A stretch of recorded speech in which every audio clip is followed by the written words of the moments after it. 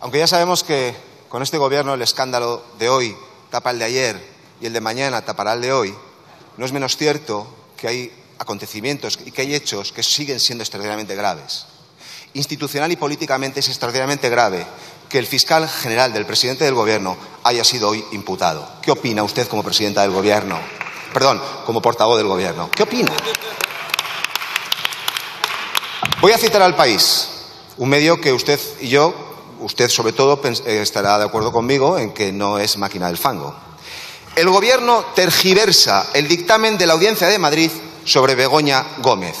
Más allá de mentir, que esto lo afirma el periódico, que es muy feo, esto se lo digo yo, ¿de quién es usted portavoz?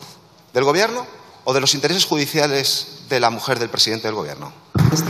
Muchas gracias, eh, señor Semper. Como veo que a ustedes les gusta convivir mucho con el bulo, voy a despejar el primero. El señor presidente del Gobierno se ha ido hoy por la puerta principal porque tenía un Consejo Europeo en Bruselas. Aquí el que entra deprisa por la puerta trasera y escondido es el señor Feijó. Y el que cancela las ruedas de prensa para evitar dar explicaciones sobre los líos a los que meten su partido y al grupo parlamentario es el señor Tellado. Y, señor Semper, soy la portavoz del Gobierno de España. Señor Semper, cuando quiera. De verdad que es verdaderamente lamentable la degradación del debate y de la sesión de control en esta Cámara a las que se somete.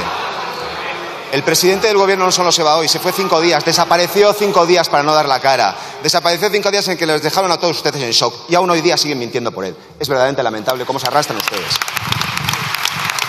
Ustedes Defienden lo indefendible, señora portavoz, defienden lo indefendible. Mire, usted ha sido en once meses sancionada dos veces por la Junta Electoral Central por utilizar las ruedas de prensa del Consejo de Ministros de manera partidista. Dos veces. Usted mintió al afirmar que la visita de la vicepresidenta de Maduro era por una cuestión de parada técnica, cuando todos sabemos, además de las enésimas versiones y diferentes que han dado miembros de su gobierno, todos sabemos que vino en un viaje programado por un ministro de este gobierno con el ok del presidente del gobierno. Y usted mintió sobre la causa que investiga a la señora Gómez. ¿Pero por qué hacen estas cosas? ¿Pero por qué mienten de una manera tan descarada? Pero ¿por qué no se respetan lo más mínimo? Miren, Sánchez se irá, se va de las sesiones de control rápido, se va cinco días, les dejará tirados a ustedes, y a ustedes también, por cierto.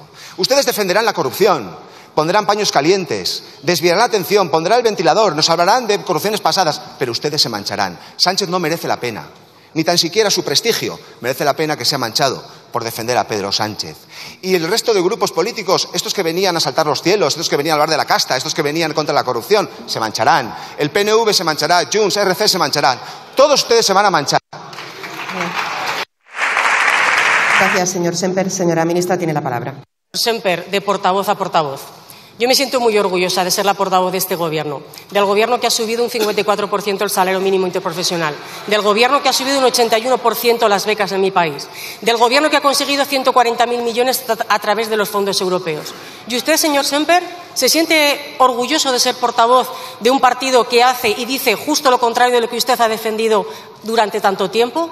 Porque usted hace cuatro años decía en una entrevista que hablar tanto de ETA es olvidar que la hemos derrotado. Imagino que usted todavía se está revolviendo en el escaño después de la imagen tan dantesca que nos dio el diputado, el señor Tellado, la semana pasada. O usted, o usted, señor Semper, hace cuatro años decía que abandonaba el Partido Popular por la influencia que había tenido Vox en su partido político. ¿Cómo se siente hoy sabiendo que es Vox el partido con el que gobiernan en muchas ciudades en nuestro país y el que les marca a ustedes el camino constantemente? Mire, señor Semper, con todo el respeto que le tengo a usted, con todo el respeto que le tengo a usted, yo entiendo que ha tenido que ser para usted el cambio muy difícil, porque ha dejado de ser un político que presumía de tener discurso propio a defender y a presentar querellas que ni usted mismo se cree. Espero que al menos duerma bien. Y, por cierto, por si alguno de ustedes se les ha olvidado, creo que me pueden hacer los coros porque todos les conocen. Gürtel, Púnica, Lezo, Kitchen, Palmarena, Bárcenas, Fabra, Fitur, Auditorio, Tandem, Erial, Guarderías, Aquamed y Mercamadrid.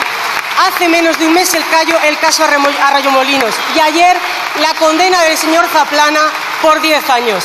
Oiga, Aún les quedan 38 causas pendientes de juicio. Y además, es que tienen ustedes la cara dura de presentar una querella en una sede del Partido Popular que está financiada por dinero negro. Así que lecciones en materia de corrupción por parte del Partido Popular, ninguna, señor Semper.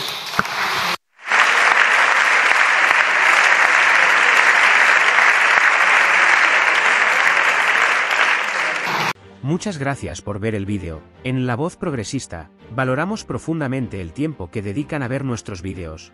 Y estamos comprometidos a ofrecer contenidos que no solo informen, sino que también inspiren la reflexión crítica y promuevan la acción positiva en la sociedad. En La Voz Progresista, nos esforzamos por ser más que un simple canal de información. Buscamos ser una plataforma comprometida con la equidad, la diversidad y la inclusión, Valores fundamentales que creemos son esenciales para la construcción de un mundo más justo y sostenible. Cada vídeo que producimos refleja esta dedicación, ya que abordamos una amplia gama de temas desde una perspectiva progresista. Nuestro enfoque va más allá de la presentación de hechos. En cada vídeo, nos sumergimos en análisis profundos y opiniones fundamentadas, con el objetivo de fomentar la reflexión y el diálogo constructivo. Creemos que la información se vuelve más significativa cuando se presenta con contextos y perspectivas que desafían y enriquecen la comprensión de los espectadores. La importancia de la justicia social y el cambio positivo resuena en cada entrega. Desde análisis políticos que desentrañan complejas dinámicas hasta exploraciones culturales que celebran la diversidad, la voz progresista se compromete a ser una fuente integral de conocimiento y perspectivas progresistas. Nos esforzamos por ser una voz auténtica en la conversación global sobre los desafíos que enfrenta la sociedad actual. Al unirse a nuestra comunidad progresista, no solo se convierten en espectadores, sino en participantes activos en el diálogo que estamos construyendo. Sus comentarios, preguntas y opiniones son elementos clave que enriquecen nuestra comunidad y contribuyen a la diversidad de pensamientos. Invitamos a todos a suscribirse, a participar en la conversación y a ser parte de este movimiento progresista que busca generar un impacto positivo en el mundo. En la voz progresista, creemos en la importancia de la educación continua y el aprendizaje colaborativo. Cada vídeo es una oportunidad para explorar nuevos horizontes, desafiando prejuicios y ampliando nuestra comprensión colectiva. A medida que nos aventuramos en distintos temas, desde cuestiones políticas hasta desafíos medioambientales y derechos humanos. Invitamos a nuestra audiencia a acompañarnos en este viaje de descubrimiento y crecimiento. La palabra progresista en nuestro nombre no solo es un título, sino un compromiso activo con la construcción de un futuro más equitativo y sostenible. Nos esforzamos por ser una fuente confiable de información, pero también un catalizador para la acción. Creemos en el poder de la comunidad para impulsar el cambio, y cada uno de ustedes, al formar parte de La Voz Progresista, contribuye a la construcción de un mundo donde la justicia social y la igualdad sean la norma, no la excepción.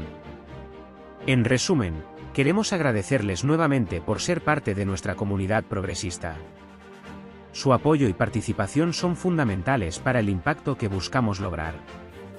Sigamos explorando, aprendiendo y trabajando juntos para construir un futuro más inclusivo, donde todas las voces sean escuchadas y todas las personas tengan la oportunidad de prosperar. Bienvenidos a La Voz Progresista y gracias por ser agentes activos del cambio.